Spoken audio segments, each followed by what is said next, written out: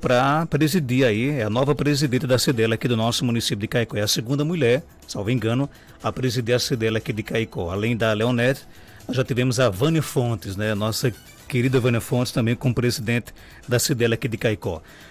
Leonete, seja bem-vindo aqui ao nosso é, Panorama 95. Parabéns aí por essa aclamação, né? Não houve disputa, foi aclamação, né? E é, como é que você recebeu esse convite para esse desafio, né?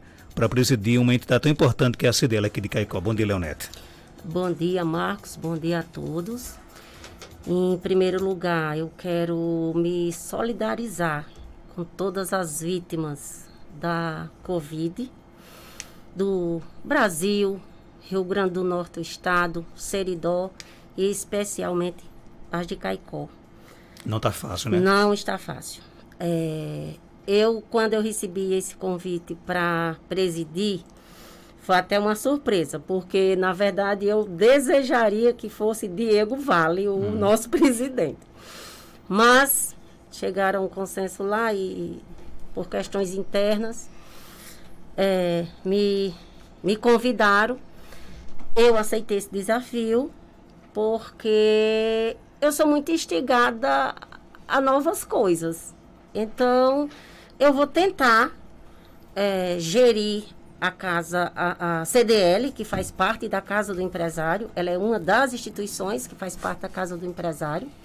O CDL hoje ele tem 44 anos, já não é tão novo, hum. né?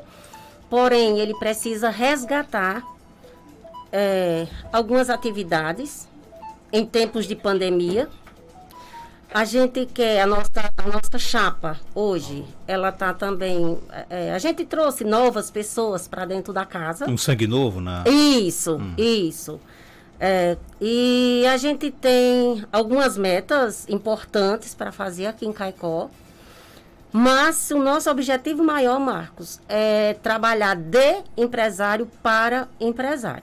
Hum. Então, o nosso de para é, vai ser muito importante porque a gente quer muito trabalhar com os empresários. A gente quer chamar os empresários para dentro da casa, a gente quer conversar com eles, a gente entende que a coletividade nunca fez tanto sentido como nos dias atuais. Você acha que os empresários se afastaram um pouco da casa? E por que esse afastamento? É, é eu concordo que se afastaram da casa Muitos se afastaram da casa porque, no entendimento de muitos, acredita-se que a, a, casa ela só é um local de negativação do SPC, do serviço. Só se vê se trabalha. Você acha que essa é a imagem geral que as pessoas têm? É, só se. É, pelo menos é a percepção que a gente encontra quando a gente vai fazer uma visita, quando os meninos vão fazer essa visita.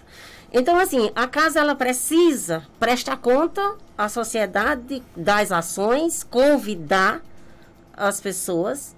A gente tem uma, eh, umas metas de, de, de, de criar, é, já antecipando, uma CDL jovem, uhum. porque a gente entende que o momento que está surgindo com tantos jovens, eles têm muitas ideias boas, bacanas. A gente vai surgir com muitas propostas muito boas para Caicó e esse é o nosso objetivo em trabalhar na coletividade. Eu, eu vejo algumas críticas, por exemplo, é, é, é, quando, quando se fala, por exemplo, em CDL, né? É, que leva a crer que muitas pessoas não sabem realmente qual é o papel, qual é o objetivo, por exemplo, da, é, da CDL. Você acha que isso aí é, é, é, até uma falha na forma como, por exemplo, a, a, CDL, não apenas em Caicó, mas no Brasil todo, se comporta, se, se apresenta à sociedade? Você acha que, por exemplo, a, a própria CDL deveria se comunicar, se relacionar melhor com, com, a, com a sociedade?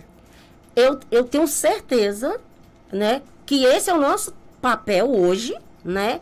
A gente está muito empenhado para fazer esse papel junto com os empresários da categoria, né, do comércio da, da, da cidade de Caicó e, e região, é dar apoio também, é procurar parcerias é, com outras entidades, tipo a Universidade Federal, é a gente dar uma assessoria aos empresários, que muitas vezes eles procuram algum, algum tipo de trabalho. Ah, eu não vou porque eu não tenho, eu não, eu não consigo.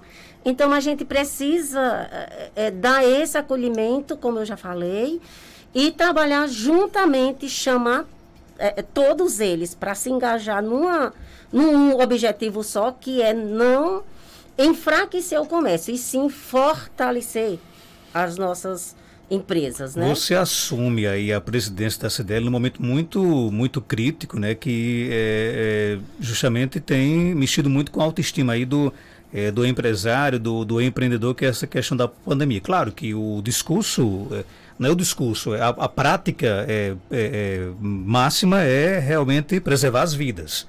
Mas a gente também não pode esquecer também da, é, de manter a nossa economia viva, porque até, até a economia viva é, contribui para a nossa saúde, né?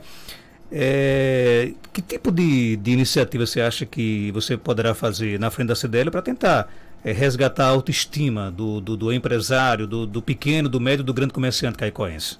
Pois é, é, é, em todo ano de 2020, Marcos, o comércio de Caicó e eu acredito que eu também vou procurar é, interagir com as outras CDLs da, da região, né? Para entender também a, a, as boas práticas deles e a gente somar. Então, assim, é um momento complicado, porém, o CDL, aqui, ele trouxe o ano passado um, um, um trabalho, um, um é, uma ação do comércio seguro para Caicó. Hum. Então, nesses, atendendo os protocolos, eh, juntamente com todos os funcionários, o, começando do empresário, porque diz assim, é, ah, porque o não essencial tem que fechar. Mas eu não concordo, porque o não essencial ele precisa para poder pagar o que é essencial. Hum. Né? O não essencial eu preciso ter para poder pagar a farmácia, o supermercado, não é verdade? A consulta e por aí vai. Então, assim, a questão que todo mundo está preocupado hoje é com o novo decreto da, da governadora. Certo. Certo? Então eu quero até tranquilizar todos os comerciantes que a governadora ela não vai, ela não vai, é bom que se diga isso, é, fechar com lockdown. Hum. Certo? A gente tem uma informação já privilegiada de quem participou da reunião ontem, não chegaram num consenso de, de, de, de, como vai ser esse novo decreto, que hoje encerra um do, do governo, né, do Estado. E vai certamente ter outro, só que vai ter algumas outras restrições. Só que para isso, Marcos, também o empresário ele precisa trabalhar com duas coisas, com responsabilidade e sensibilidade sabe? Responsabilidade em orientar a equipe, orientar os clientes. A gente visita essas lojas e a gente vê alguns empresários que nem de máscara está se usando.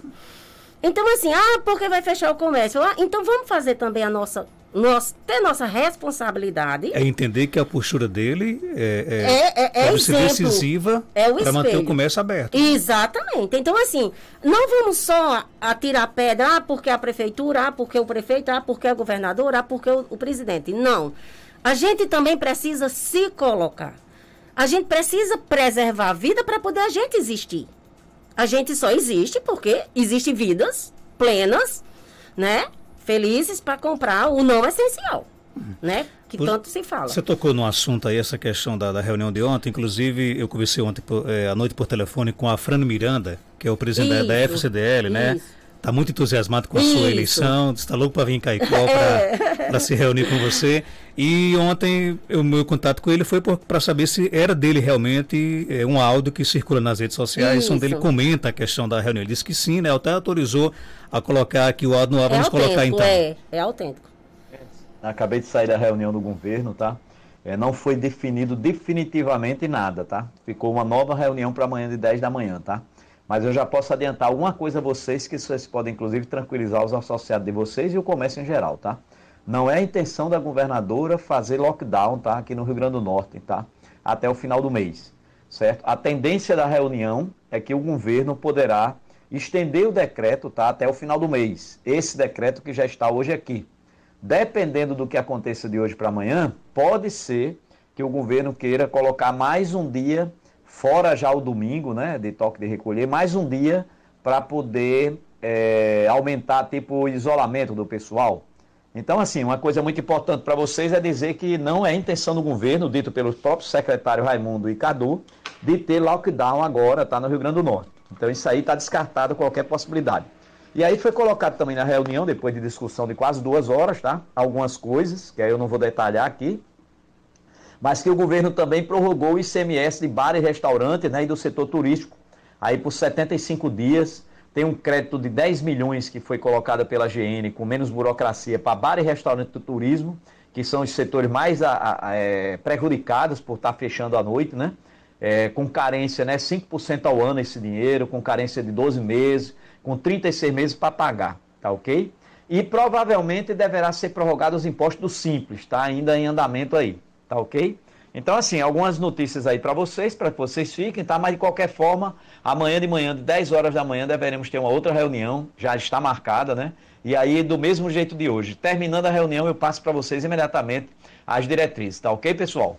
É, bom trabalho vocês e como o Flávio já colocou aqui, tá, pessoal? Vamos fazer a nossa parte, ajudar as prefeituras, fazer cumprir os protocolos, tá? Então, assim, cada um fazendo a sua parte aí, com certeza vai ajudar demais para a gente reduzir esse caos que está é, os hospitais lotados, tá? É, vocês imaginem que de 350 leitos no Rio Grande do Norte, apenas 7 estão vagos e estão vagos temporariamente, porque tem mais 125 pessoas na fila de espera.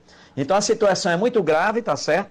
Mas nós defendemos, todos do comércio, defendemos que manter o comércio aberto, jamais pensar em lockdown, tá? E apenas a gente ajudar a respeitar os protocolos e o governo a é, fiscalizar esse atendimento aí dos protocolos, ok? Uma boa tarde para todos vocês. Tá, e nós ouvimos o áudio é, do, do Afrano Miranda, que é presidente da FCDL. Certamente foi um áudio compartilhado num grupo aí é, de, é, de associados, né, de dirigentes logísticos. Agora com as, essas, essas, coisas hoje vazam, né?